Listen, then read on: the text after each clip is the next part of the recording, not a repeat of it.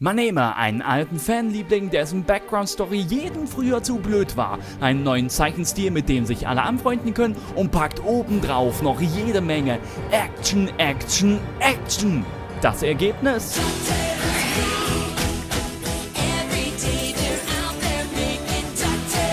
Nein, äh, stopp, äh, das ist der falsche Film.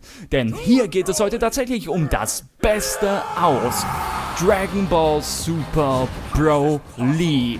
Oh yeah!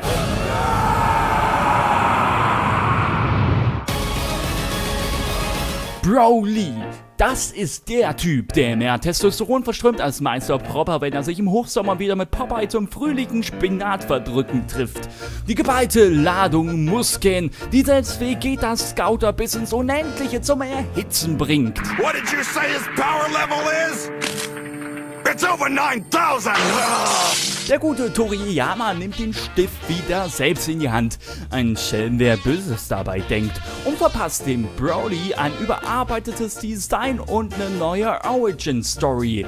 Der neue Film ergründet die Herkunft unseres Affenjungen Son Goku und erklärt, wie das denn früher war mit der Love-Story zwischen Brolys Vater, den Saiyajins, Freezer und warum zur Hölle Argus diesen sexy Rock trägt. Dabei setzt Toy Animation auf einen neuen Zeichenstil, der selbst die DuckTales von Night erblassen lässt und schickt die beliebtesten Charaktere des Universums in einen Kampf um Leben und Tod gegeneinander. Vegeta vs. Broly, Son Goku vs. Broly, Freezer vs. Broly und am Ende stirbt der Glatzkopf. Verdammt!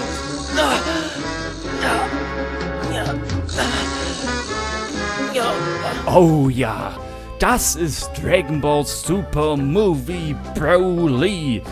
Die Herkunft der Saiyajins, die Machtspiele von König Vegeta und die Geschichte des legendären Super Saiyajins.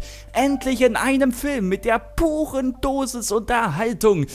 Ja, eigentlich gab es davon jetzt schon drei Filme. Die waren aber nicht von Akira Toriyama selbst und gehören daher, wie der Shooter Anime-Freund sagen würde, nicht zum Canon-Bereich. Dieser Brody wird jemand mit einer nachvollziehbaren Geschichte sein und niemand, der Wut im Brand den halben Tag nach falsch ausgesprochenen Karotten ruft. Dazu kommen neue Verwandlungen. Unsere Freunde werden wohl wieder einmal die Muckis des Super Saiyajin God spielen lassen. Und Freezers neue Form ist auch wieder am Start. Ah, Wie hieß die denn nochmal? Ach Gottchen, es war so einfallsreich. Am besten ich lasse es Ihnen selbst nochmal erklären. And now, for the sake of your feeble little mind, we can keep the name simple as well. We'll call this Golden Frieza.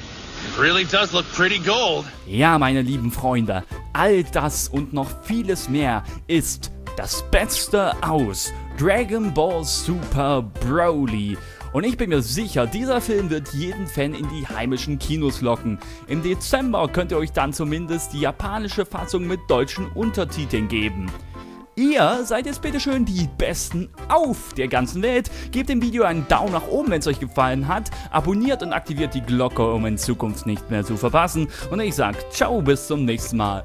Euer Krangus.